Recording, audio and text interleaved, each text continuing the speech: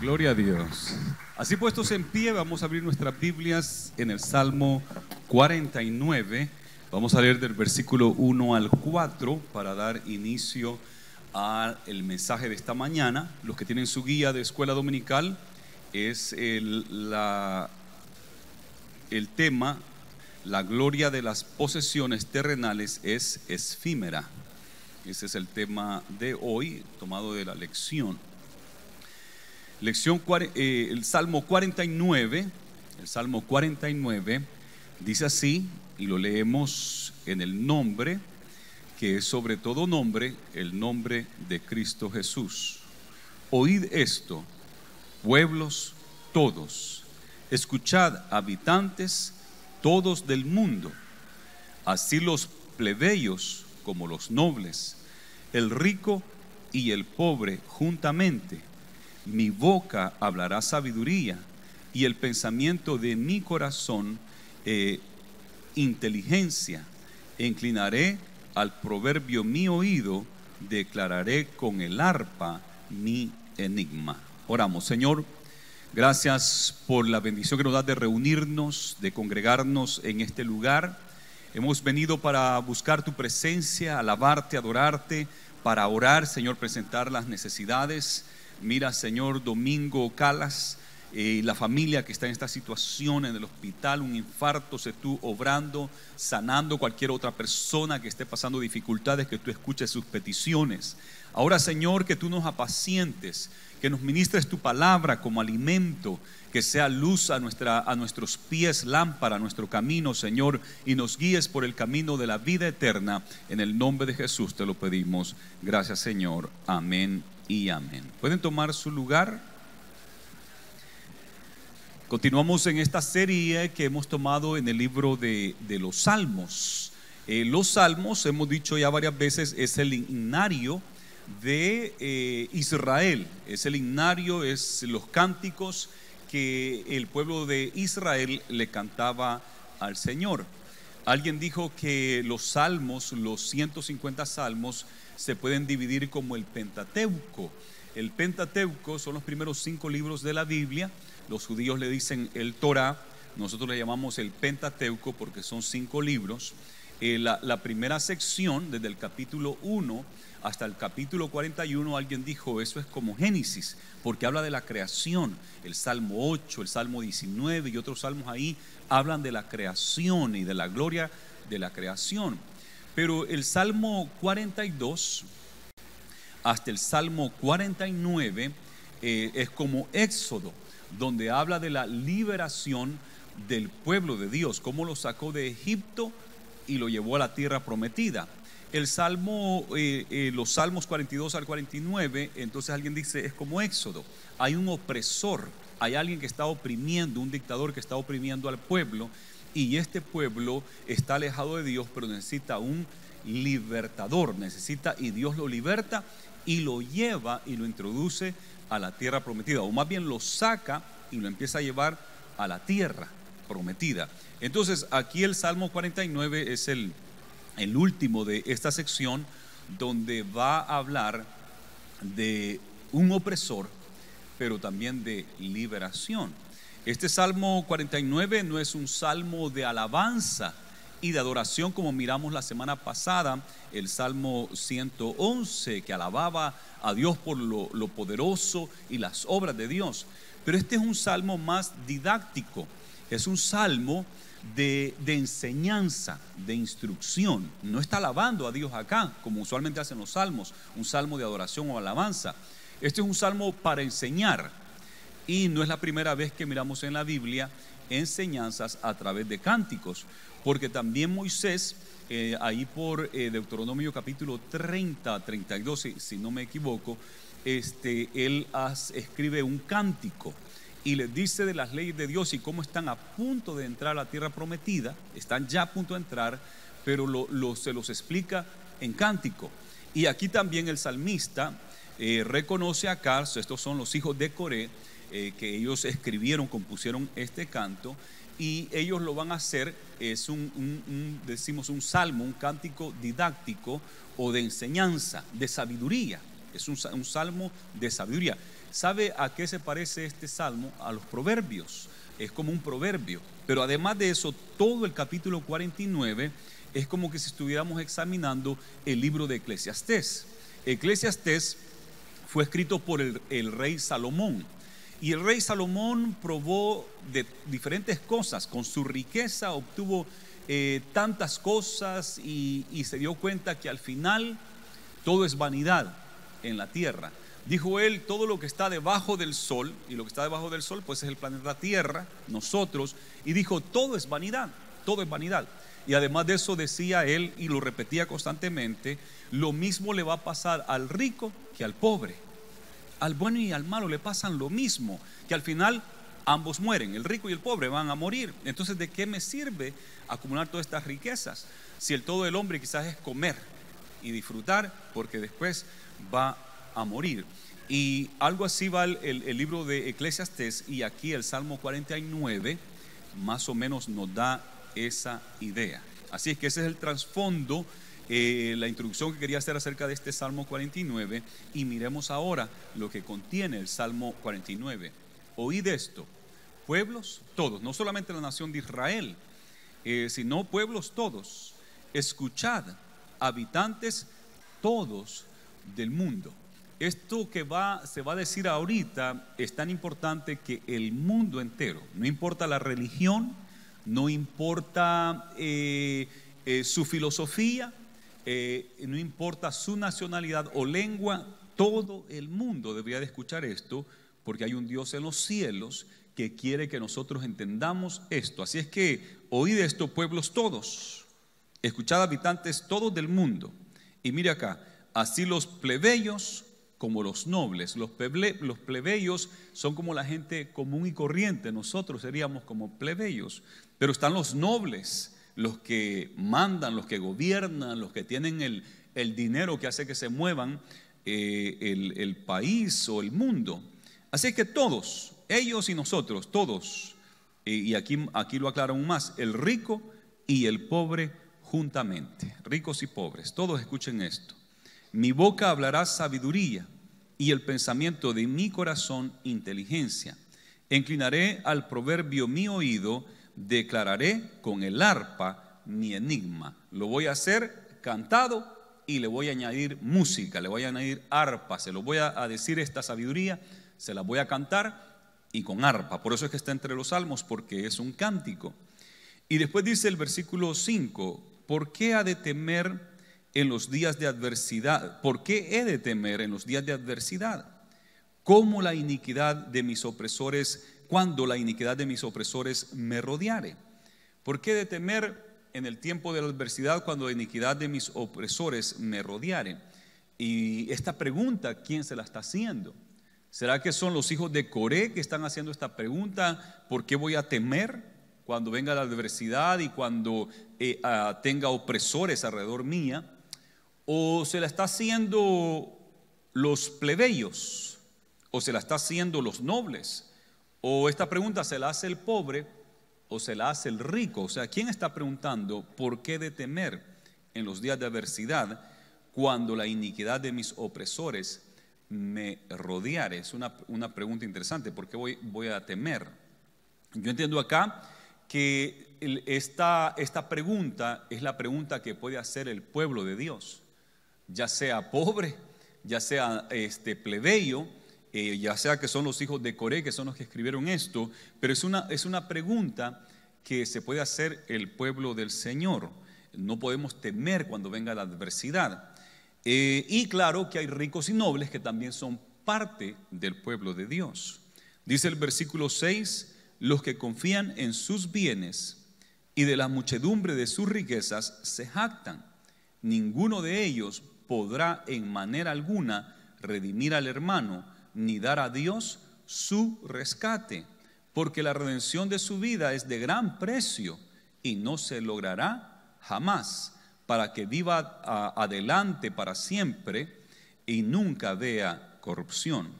Entonces, el problema acá es cuando los ricos se jactan de sus riquezas, de la muchedumbre de sus riquezas, la jactancia, el confiar en las riquezas. Ese ha sido el problema que Dios siempre ha tenido con los ricos, el jactarse de su riqueza, el confiar en su riqueza, y el Señor ha sido determinante de que eso no puede ser así, eso no puede ser así. Incluso nos dice la Biblia que la raíz de todos los males es el amor al dinero.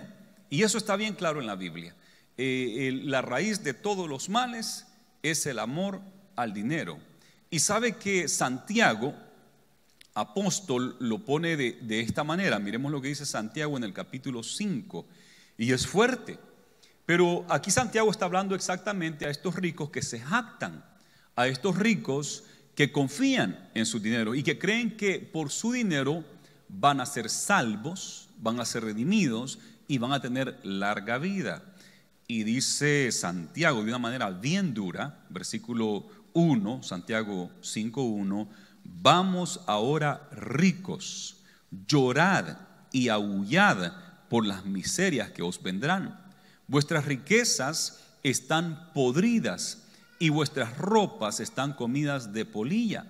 Vuestro oro y plata están enmohecidos y su moho testificará contra vosotros y devorará del todo vuestras carnes como fuego.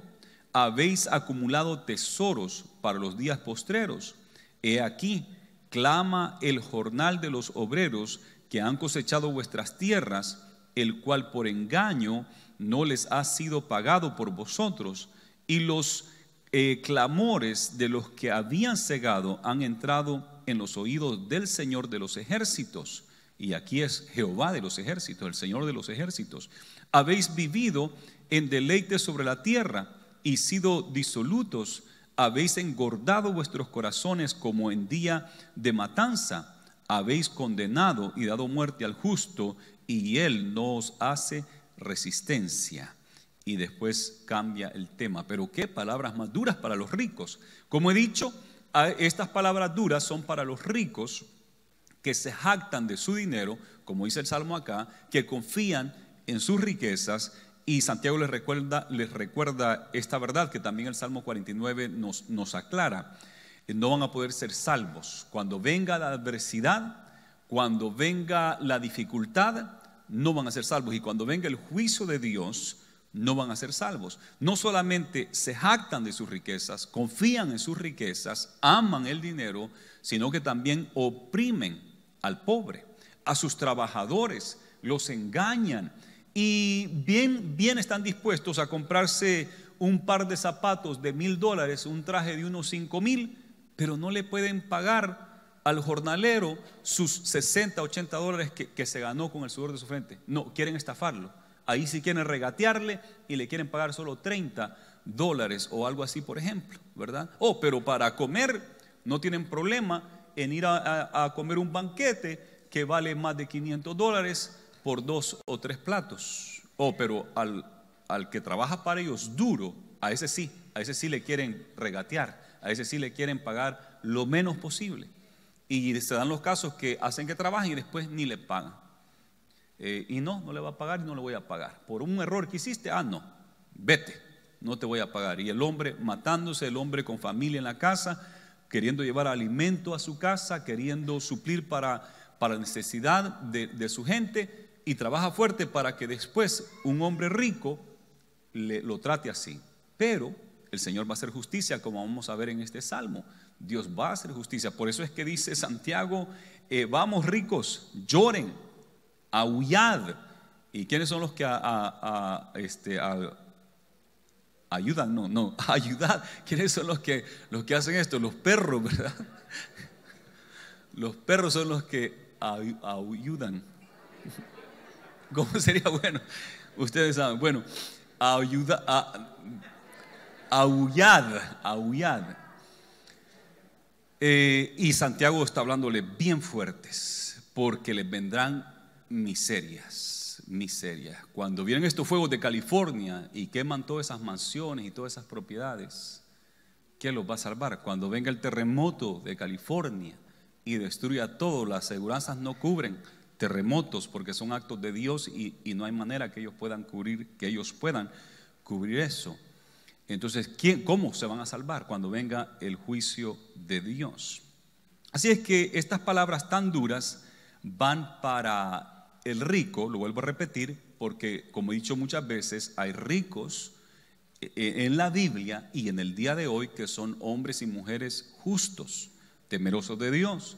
Y hay muchos ejemplos en la Biblia de hombres que tuvieron bastante, eh, pero eran justos, eran temerosos, ayudaban al pobre, no estafaban a sus trabajadores, sino que le, daban bien. Y hay ricos hoy en día que son así. Sé de por lo menos dos compañías que estoy al tanto, que son eh, hombres cristianos, los fundadores de estas compañías, y le, y le pagan a sus trabajadores. Hay una que ya tiene, no sé, más de 7, 8 años, que para comenzar a sus trabajadores les paga 15 la hora. El mínimo de ellos es 15, ¿verdad? Y, qué bueno por eso.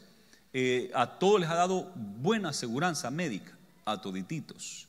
Y uno de ellos fue a pelear contra la, la ley de Barack Obama cuando pasó Obamacare, porque quería que esa compañía que les pagaba muy bien, 15 el mínimo, en el tiempo de Barack Obama, hace ocho años, eh, y sabe de que ya ellos pagaban eso, tenían un médico bien, un seguro médico bien bueno, pero la ley de Barack Obama exigía que todas, todas las aseguranzas médicas le dieran a la mujer el cuidado también de reproducción que incluía el aborto. Y ellos como son cristianos, y también las iglesias entraron en eso, porque iglesias tienen empleados y no van a, a las iglesias a pagar el aborto de uno de sus empleados. Y este hombre de Javi Labi tampoco quería pagar el aborto de sus empleados. Ellos quieren hacer eso, allá ellos con Dios, pero el dinero de esta compañía no va a ir para matar a un bebé.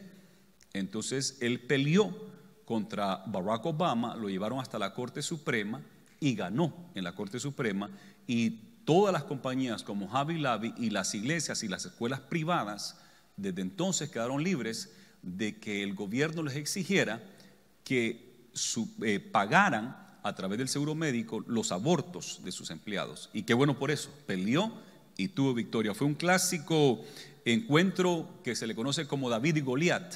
David era el dueño de Javi y Goliat el gobierno de Barack Obama, pero ganó. Eh, hay gente así de justa, millonarios y todo, pero justos, no aman el dinero no oprimen al pobre, más bien le tratan de ayudar y hacer eh, lo mejor para ellos. Y qué bueno por eso. Pero a, los que la Biblia está condenando es a ese que se jacta, que confía en su dinero. Ahora, otro punto acá en el versículo 7, bien importante, es que dice, ninguno de ellos podrá en manera alguna redimir al hermano, a alguien, ni dará a Dios su rescate. Tampoco va a poder ese rico darle a Dios su rescate. Mira, yo he pecado, yo sé que me merezco el infierno, pero aquí está mi rescate. Quiero salvación. Aquí voy a pagar esto para que mi alma no tenga que ir al infierno, para que mi alma salga del purgatorio, por así decir, ¿verdad? Y voy a dar esto en rescate, eh, esta cantidad de dinero. Ni los ricos pueden hacer eso, ni mucho menos los pobres.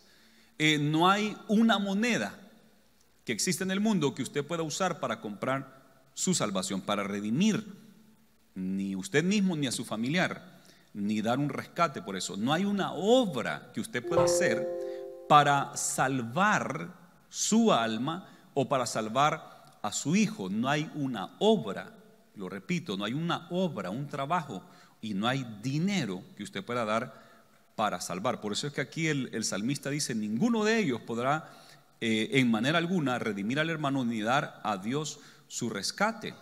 Si usted y yo vamos al cashier donde cobran y nos ponemos ahí para pedir nuestra salvación, ¿cuánto va a ser? Y de igual manera se pone el rico ahí a la par que quiere pagar también su salvación, como cuando uno va a pagar el bill de la electricidad o del teléfono. Y ahí somos iguales. El rico y el pobre somos iguales. Ninguno de los dos podemos pagar por nuestra salvación. Y el versículo 8 está en paréntesis. Y miren la paréntesis que hace aquí el salmista. Recuerde que lo está haciendo cantado y lo está haciendo a son de arpa, le ha puesto música. Y dice, porque la redención de su vida es de gran precio y no se logrará jamás. es de gran precio la redención, la salvación es de gran precio y nadie en esta tierra jamás puede lograr la redención de una alma. A eso se refería el apóstol Pedro, si va conmigo a Primera de Pedro, capítulo 1 y versículo 18 y 19. Primera de Pedro 1, 18 y 19. Estos apóstoles, igual que Jesús, conocían el Antiguo Testamento, conocían estos salmos. Y, esto concuerda con este salmo, lo que dice Pedro en, su primera carta, el, versículo 18 del capítulo 1, dice, sabiendo que fuisteis rescatados, y mire, de vuestra vana manera de vivir, la cual recibiste de vuestros padres, una herencia que traemos de nuestros padres, que porque todo el humano ha pecado, está destituido de la gloria de Dios, tenemos una naturaleza pecaminosa, pero el Señor nos ha redimido de esa naturaleza pecaminosa que todos los seres humanos tenemos, no con cosas corruptibles como oro y plata. El oro y, la plata no nos pueden redimir, sino con la sangre preciosa de Cristo, de gran valor. Eh, dice en el, en el versículo 8 que estábamos leyendo que es de gran valor entonces, y eso es precioso, algo que de gran valor es algo precioso. ¿Y qué es lo que nos puede redimir? La sangre preciosa o la sangre de gran valor de Cristo como de un cordero sin mancha y sin contaminación. Así es que hemos sido comprados o hemos sido redimidos, hemos sido rescatados no con oro y plata, sino que hemos sido redimidos con la sangre preciosa de Cristo Jesús. Gloria a Dios. Démosle un fuerte aplauso al Señor.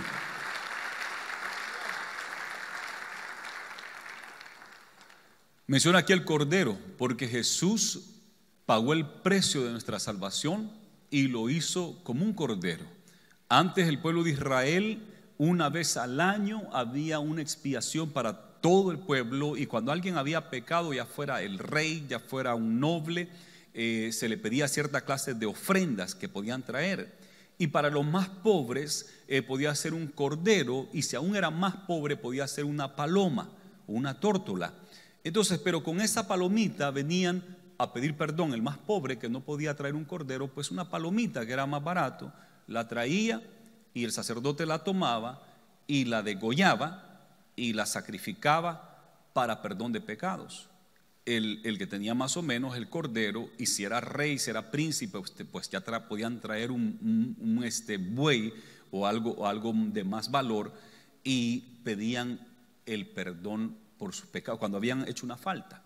Pero una vez al año, cuando el sacerdote hacía la remisión del pueblo, ahí todos eran equivalentes. Un cordero por todo el pueblo. Y eso hablaba de Cristo Jesús. Entonces Jesús es el Cordero de Dios que quite el pecado del mundo y Él pagó el precio.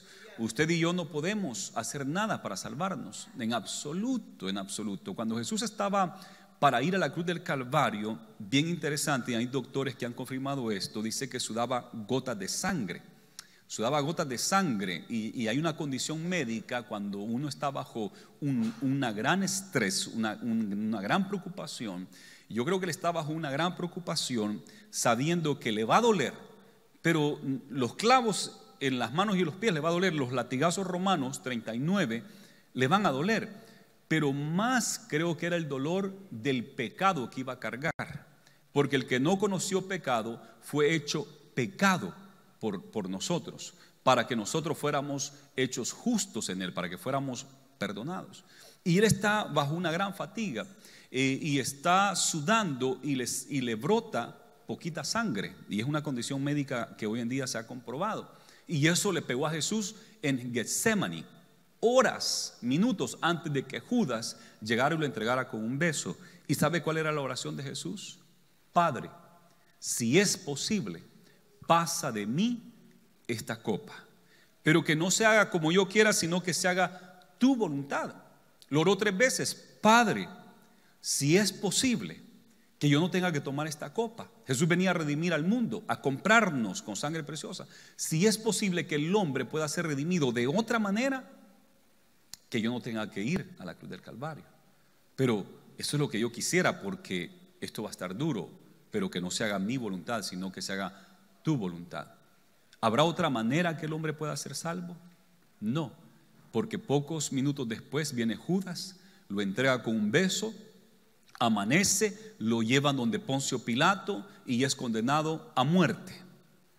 A las 12 del mediodía ya está siendo eh, crucificado en Gólgota, en la loma esa que le conocen la, la, del Calvario o la de la calavera, que es lo que quiere decir Calvario o Gólgota. Y allí lo crucificaron. ¿Por qué? Porque no hay otra manera que el hombre pueda ser salvo. Si el hombre puede ser salvo siguiendo las enseñanzas de Buda, Jesús no tenía que haber muerto. Si el hombre puede ser salvo eh, siguiendo las enseñanzas de Mahoma o de Confucius o, de los que se levanta por ahí o cualquier otra cosa, si hubiera una persona santa en el mundo que pudiera interceder por nosotros y, que pudiéramos ser salvos a través de, de esas personas, Santo Tomás, San Antonio, San Andrés, y bueno, este, si por medio de ellos pudiéramos ser salvos, entonces Jesús no tenía que ir a la cruz del Calvario.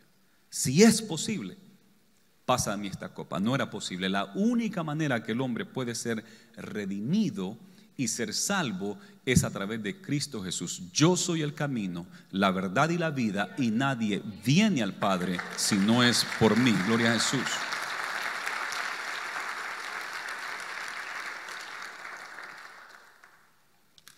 Qué interesante esta pregunta de, del salmista. No, no, no, se puede redimir, no, va a poder comprar. Lo mismo dijo el apóstol Pablo en Efesios capítulo 1 y versículo, eh, encontramos aquí en Efesios capítulo 1 y versículos 6 y 7. Mire lo que dice, para alabanza de la gloria de su gracia con la cual nos hizo aceptos en el amado. Hemos sido aceptos en Cristo, en quien tenemos redención por su sangre, el perdón de pecados según las riquezas de su gracia, por las riquezas de su gracia, no por la riqueza nuestra o de alguien que pueda pagar por nosotros, no, no, por su sangre tenemos redención por su sangre, perdón de pecados según las riquezas de su gracia.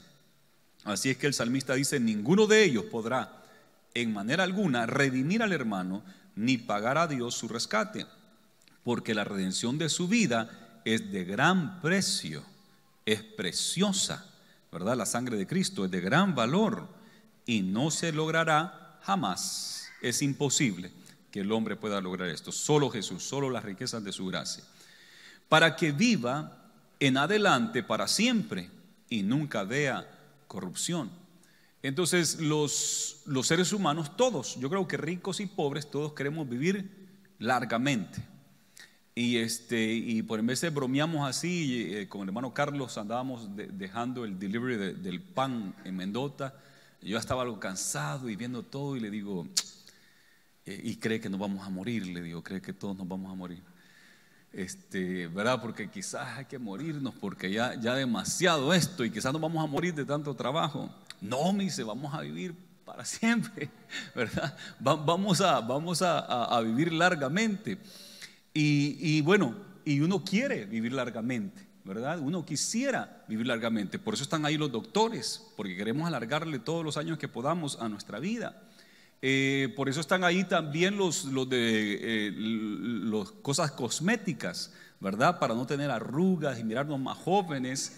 Y si eso no funciona, pues una operación para que nos jalen los cachetes y los ojos para que no se mire muy arrugado por ahí. Y también está el tinte para que ya no se le miren las canas y se mejor rubio o negrito, como lo quiera. Porque queremos todos vivir largamente. Eh, ahora están hablando algunos de que quieren ver si de alguna manera pudieran como congelar el cerebro o algo y ponerlo en otro cuerpo, guardar toda la memoria de esa persona y que ese hombre rico que tiene el dinero para hacerlo, después se le pueda poner en otro cuerpo y hacer download la información y que siga viviendo. De alguna manera están buscando maneras, pero todos quieren vivir largamente, nadie quiere morir, todos quieren vivir largamente y nunca vea corrupción. Eh, imposible. Todos vamos a morir, ricos y pobres, todos vamos a morir. Lo que le pasa al rico le va a pasar al pobre. Todos vamos a morir. La única manera que podemos tener vida eterna es a través de Cristo Jesús. Pues la Biblia dice de que el que cree en Él tendrá vida eterna. Y Jesús dijo, yo soy la resurrección y la vida. Y el que cree en mí, aunque esté muerto, vivirá. Así es que esa es la bendición que tenemos. Vamos a tener vida eterna en Cristo Jesús.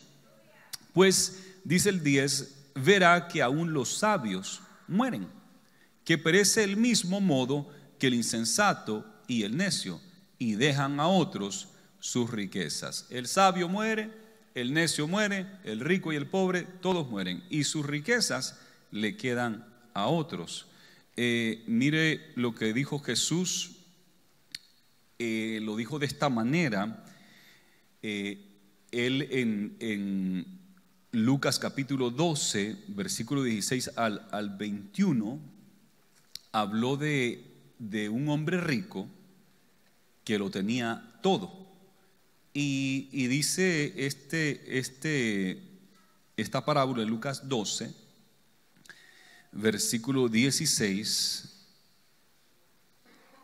también les refirió una parábola diciendo, la heredad de un hombre rico había producido mucho, y él pensaba dentro de sí diciendo, ¿qué haré? Porque no tengo dónde guardar mi fruto. Y dijo, esto haré, derribaré mis graneros y los edificaré mayores, y allí guardaré todos mis frutos y mis bienes. Y diré a mi alma, alma, muchos bienes tienes guardados para muchos años, repósate, come, bebe, regocíjate.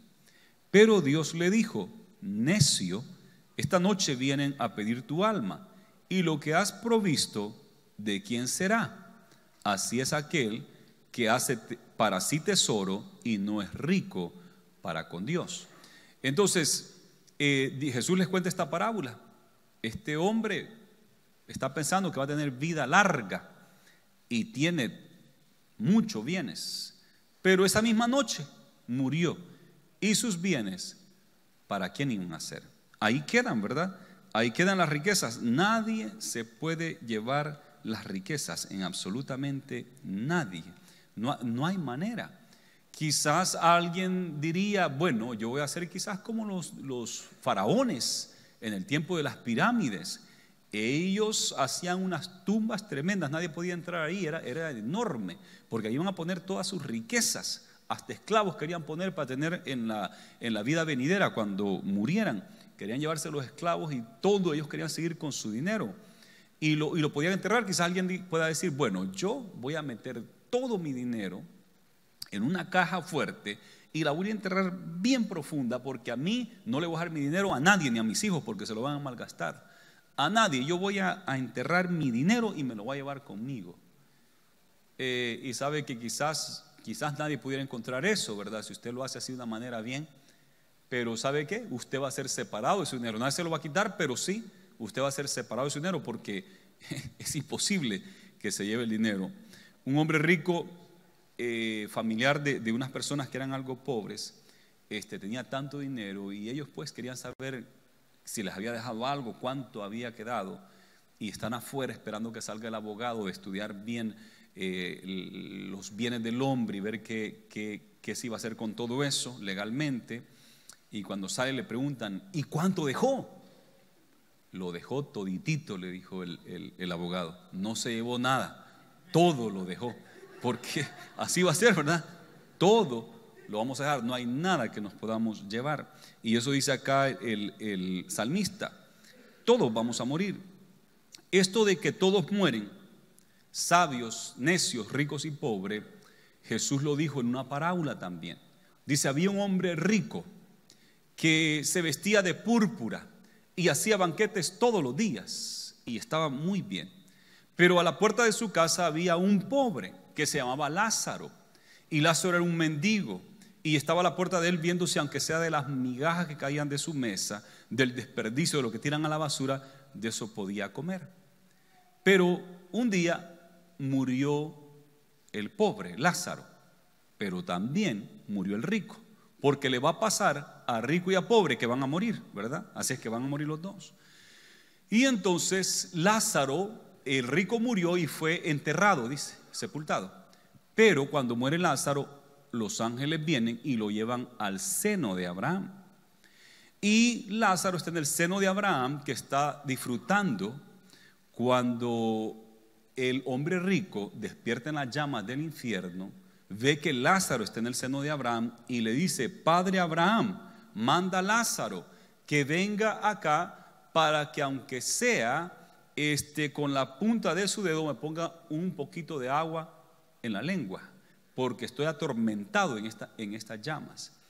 Y uno se pone a pensar, Dios mío, pero si Lázaro estaba ahí quizás todo sucio, quizás con llagas, qué sé yo, él era bien rico este hombre, hacía banquetas todos los días, se vestía, pero bien, bien, ¿verdad? Quizás todos sus, sus cosméticos, sus perfumes, aceites y polvos que se ponía.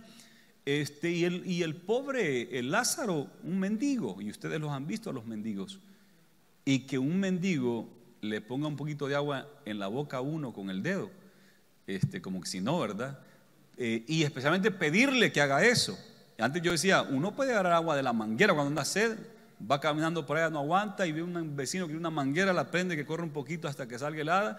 Y yo, yo he tomado agua de la manguera, pero tomar agua del dedo de un homeless, de un mendigo, no, no me atrevo. Pero eh, el, el hombre rico sí quería, aunque sea eso, hacer el tormento que tenía. Pero el Señor le dice, Abraham le dice, ya tú delictaste todo en la tierra. Y, este, y Lázaro sufrió, pero Lázaro fue sabio, porque hizo tesoros para con Dios, caminó una vida justa. Y el hombre rico confió en sus riquezas, se jactó de sus riquezas y no lo pudo salvar. Entonces le dice eh, el hombre rico, pues entonces Padre Abraham, envía a Lázaro que resucite, que vaya donde mis hermanos, para que mis hermanos no tengan que venir acá. Y el salmista aquí en el 49 ha dicho, no podrá redimir a su hermano, no va a poder redimir tampoco a su hermano. Este quería que por lo menos ya muerto, pues que, que vaya Lázaro y les predique y les diga lo que hay después de la, de la muerte, que hay vida después de la muerte. Y entonces el Señor, Abraham les dice, a los profetas tienen, a Moisés y los profetas tienen, ahí tienen la Biblia, tienen las escrituras, que le crean ellos, porque si un muerto se levantare, tampoco le, le van a creer. Si un muerto se levantare, tampoco le creerían si no creen a las escrituras.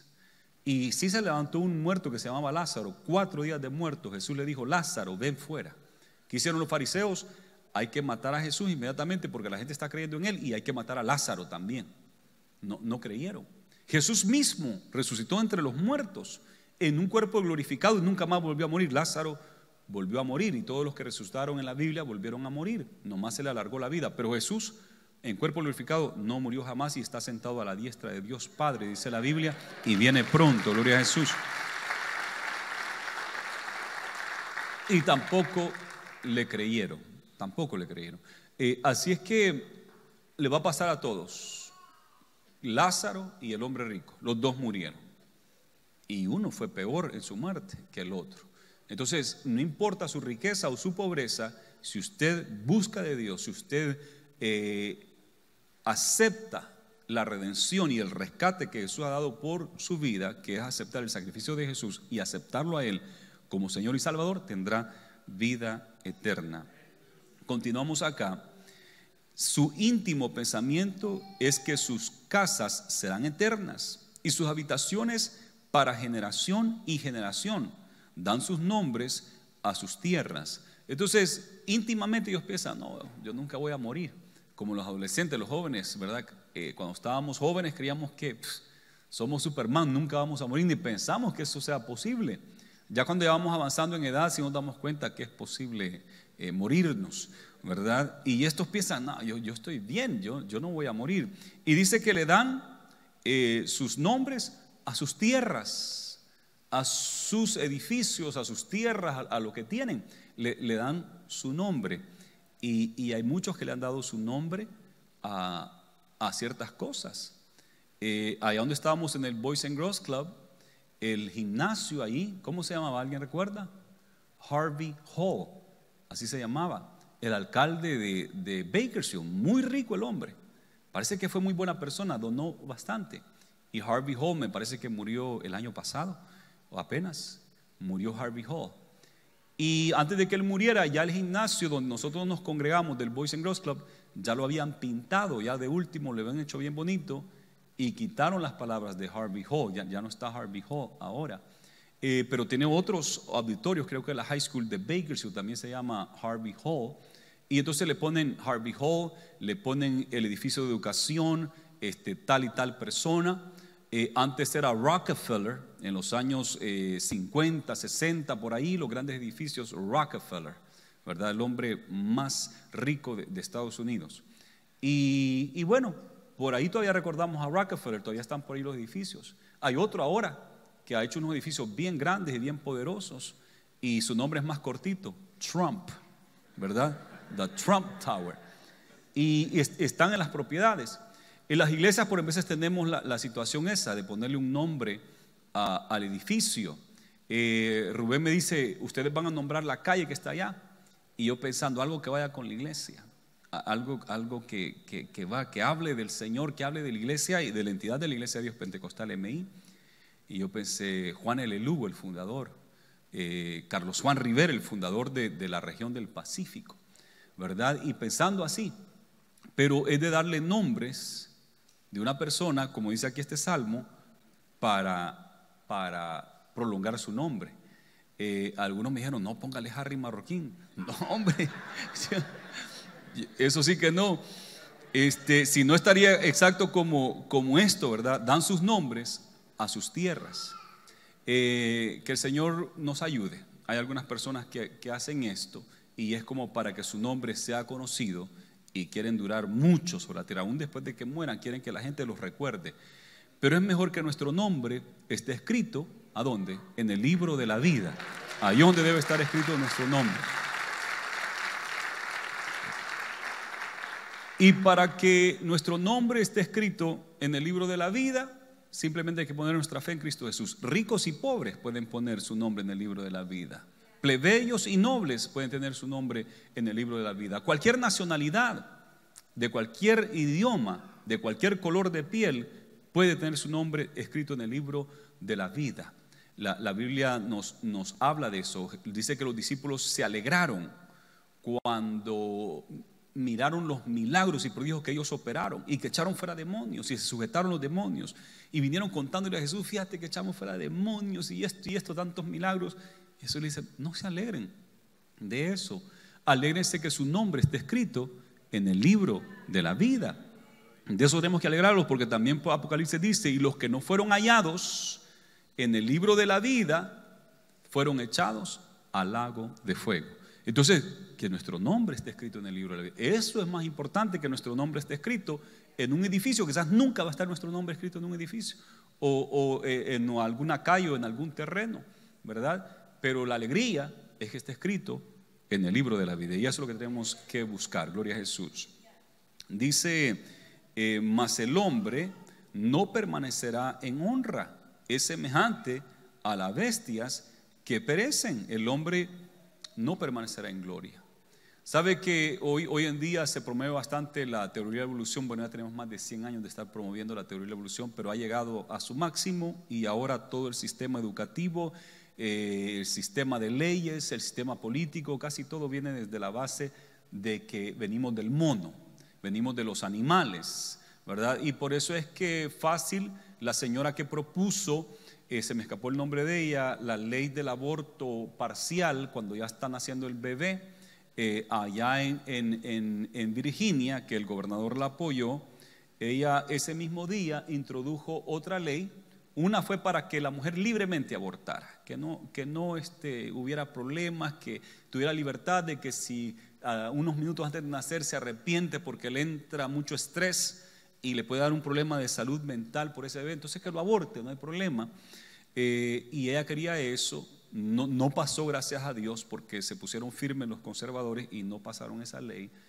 Pero ese mismo día ella también pasó una ley donde había que proteger un caterpillar, que es como el gusanito que se hace mariposa, y había que tratar de que nadie perturbara, darle eh, este, castigos a las personas que tocaran la vida de esos gusanitos.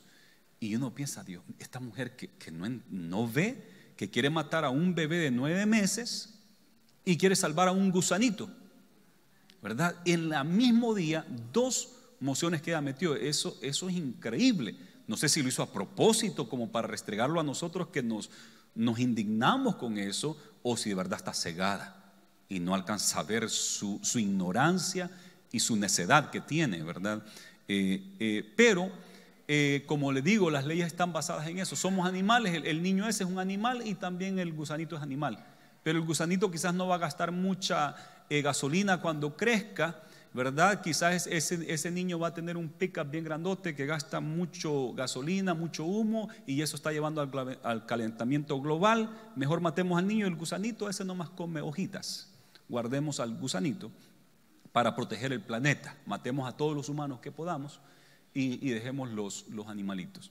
¿Por qué? Porque vienen de la, de la teoría de la evolución. Desde ahí vienen sus fundamentos, sus principios, vienen desde ahí. Pero la verdad que bíblicamente no es así. No venimos de los animales. Eh, Dios le dijo a la tierra, produzca animales. Y produjo según su género, según su especie. Pero cuando hizo al hombre, lo hizo con un diseño especial y dijo, hagamos al hombre a nuestra imagen y semejanza. Y Dios hizo el muñeco de barro y sopló en él y le dio vida. Y es muy diferente el hombre, aunque es tomado de la tierra igual que el animal, tenemos los mismos elementos que la tierra y los animales también, pero somos creación especial. Por eso es que somos inteligentes, por eso es que somos eh, creativos, por eso es que tenemos espíritu y tenemos conciencia. Los animales no lo tienen, nosotros sí. Pero lo que ha pasado es al revés, que Dios nos hizo a imagen y semejanza de Dios y ahora en vez de evolucionar hemos devolucionado, vamos para abajo. Y por el pecado empezamos a disminuir y empezamos a, degradarnos y ahora parecemos animales. Que una mujer pueda matar a su niño ya bien formadito es como un animal. Es como la puerca que hay veces que, que se come a su bebé recién nacido, los mata y se los come, ¿verdad? Entonces, entonces sí ya estamos pareciendo animales ahora, pero no éramos animales éramos creados a la imagen y semejanza de Dios, pero el pecado y nuestra ignorancia y por ir por nuestros propios caminos nos ha hecho semejantes a los animales. Es semejante a las bestias que perecen. Así está pasando ahora, pero eso no es la voluntad de Dios. Este su camino es locura, dice el versículo 13. Este su camino es locura. Con todos sus descendientes se complacen en el dicho de ellos, como a rebaños que son conducidos al Seol la muerte os pastoreará, y los rectos se enseñarán de ellos por la mañana, se consumirá su buen parecer, su buen parecer y el Seol será su morada.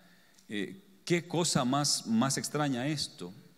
Fíjese que dice acá que el Seol o la muerte, la muerte va a ser el pastor de ellos. La muerte es el pastor de ellos el, rebaño de ellos es conducido, es conducido al Seol, al infierno. Y dijo David el contraste, Jehová es mi pastor y nada me faltará, el Señor es mi pastor. Pero aquí estos ricos que confían en su, en su dinero, ¿quién es su pastor? La muerte es su pastor. Qué feo, ¿verdad? Que la muerte sea su pastor, el Señor me libre. Porque nuestro pastor es Cristo Jesús, Él es la vida, Él es la verdad, Él es el camino y Él es nuestro pastor. Pero Dios redimirá mi vida del poder del Seol, porque Él me tomará consigo, Selah. Así es que eh, ellos van así, pero, pero yo, el Señor me, va a salvar, me va a redimir mi vida del poder del Seol. 16. Eh, no temas cuando se enriquece alguno, cuando aumenta la gloria de su casa, porque cuando muera no llevará nada ni descenderá tras él su gloria, como aquel hombre rico necio. Hoy viene por tu alma y todo lo que tienes, ¿de quién será? Aunque mientras viva llame dichosa a su alma, alma mía, regocíjate, eh, deleítate, ¿verdad? Que bien lo has hecho, has hecho graneros grandes.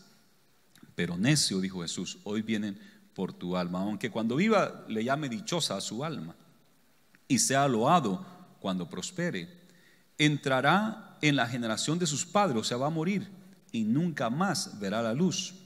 El hombre que está en honra y no entiende semejante es a las bestias que perecen. Ese es el que es semejante a las bestias. El hombre que está en honra y no entiende. Ahora tiene mucho, pero no entiende que eso no le va a salvar. Es como una bestia. Pero nosotros no somos como bestias. Nosotros somos creados a imagen y semejanza del Señor y cuando hemos nacido de nuevo, eh, Jesús habita en nosotros, nos da de su Espíritu Santo, nos da conocimiento para que caminemos como hijos de Dios. A los suyos vino y los suyos no le recibieron, mas a todos los que le recibieron, a los que creen en él, les dio potestad de ser hechos hijos de Dios, para que andemos como hijos de Dios, no como animales, no como bestias o carnales o en las cosas del mundo, como dice la Biblia, sino como hijos de Dios. ¿Por qué no inclinamos nuestros rostros? Señor, gracias por tu palabra. Que esta palabra quede en nuestras mentes y nuestros corazones. Gracias Jesús. Yo le pido que medite en esto que hemos hablado. Le pido a la congregación que me ayude a orar por aquellos que aún no han entregado su vida a Cristo Jesús. Me gustaría hacerle la invitación. Las riquezas no le pueden salvar. Las obras buenas que usted pueda hacer no le pueden salvar. Usted, que pueda, usted quizás me pueda decir, predicador, pero, pero yo soy un hombre bueno. Yo no le hago mal a nadie yo trabajo, yo, yo hago esto, estoy con mi familia, tengo mi pasatiempo, sí, de vez en cuando eh, hago por ahí alguna cosa mala, pero, pero en sí soy bueno, soy bueno en sí. Yo creo que Dios me va a recibir en su reino porque yo soy una persona buena y he ayudado a los pobres, a los necesitados. Pues nos hemos dado cuenta de que usted no puede ser salvo por esas obras. Quizás si yo pregunto, ¿quién es bueno acá? Quizás algunos cuantos levantaran sus manos considerándose bueno. Pero si yo pregunto, ¿quién es santo acá? Creo que ahí la pensaría. ¿Quién es santo? ¿Usted es bueno y cree que por eso va a entrar al reino de los cielos? No, dice la Biblia, sin santidad nadie verá al Señor. Dice acá que Él nos redime del pecado para que seamos santos. No es que sea bueno, tiene que ser santo. Y eso se, se obtiene a través de Cristo Jesús. Dice la Biblia, justificados pues por la fe tenemos paz para con Dios. Las riquezas de, su misericordia, de su gracia, están disponibles a nosotros en fe. Cuando le recibimos, cuando reconocemos el sacrificio de Jesús en esa cruz y recibimos ese sacrificio y aceptamos ese sacrificio y le decimos a Jesús que entre a nuestro corazón, que lo recibimos a Él y recibimos su sacrificio y que sabemos que es la única manera de ser salvo. Yo lo he hecho y constantemente yo recuerdo eso que yo no puedo ser salvo aparte de Cristo Jesús. Él es el que ha proveído para mi salvación. Y yo quiero estar seguro que mi nombre está escrito en el libro de la vida. Y yo siempre confío en el Señor. Y día con día yo recuerdo que es por fe. No es por lo que yo pueda hacer. Es por fe. Él es Señor. Y Él quiere ser el Señor de su vida. ¿Hay alguien acá? ¿Cómo usted puede hacer para que su nombre se escriba en el, en el libro de la vida? Bien fácil. Bien cerca de ti está la salvación, dice el apóstol Pablo en Romanos en tu corazón y en tu boca. Porque si crees en tu corazón y lo confiesas con tu boca, serás salvo. Porque con el corazón se cree para justicia, pero con la boca se confiesa para salvación. ¿Hay alguien acá que quisiera confesarlo y asegurarse de su salvación, de que su nombre esté escrito en el libro de la vida? Levante su mano. Desde aquí yo voy a ver su mano levantada y vamos a hacer una oración especial por usted para guiarlo en una oración donde usted pueda confesar a Jesús como su Dios Salvador.